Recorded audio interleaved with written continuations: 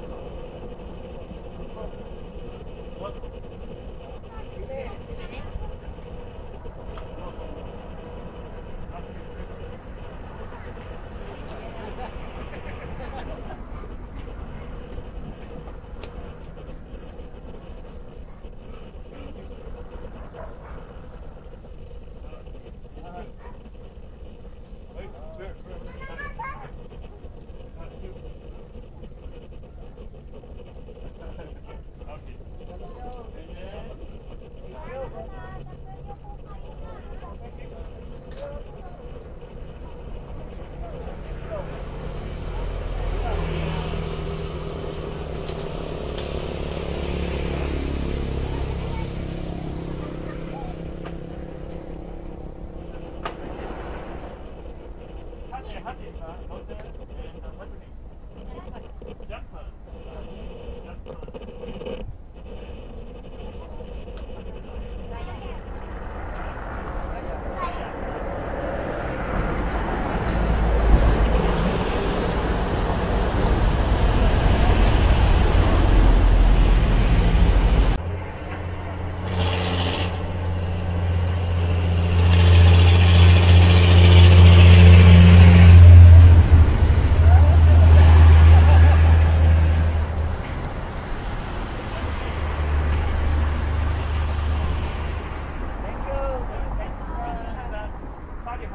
刷点